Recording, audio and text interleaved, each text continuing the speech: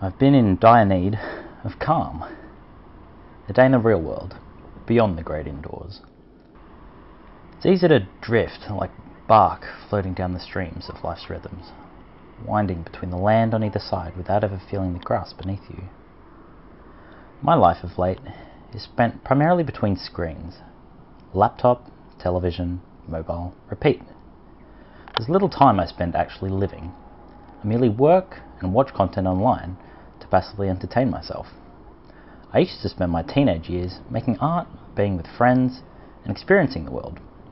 Part of me is certainly looking back on my adolescence with a romantic tint, but I do feel a bit of a disconnect from purpose and from the meaning I used to feel.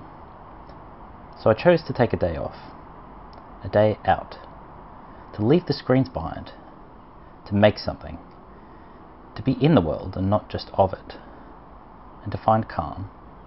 I think it's working, slowly.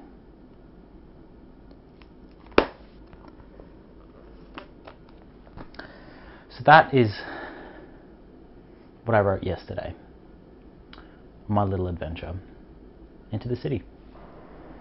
Um, I've been reading, or rereading rather, Cal Newport's book, Digital Minimalism, and sort of reflecting on the role of technology in my life.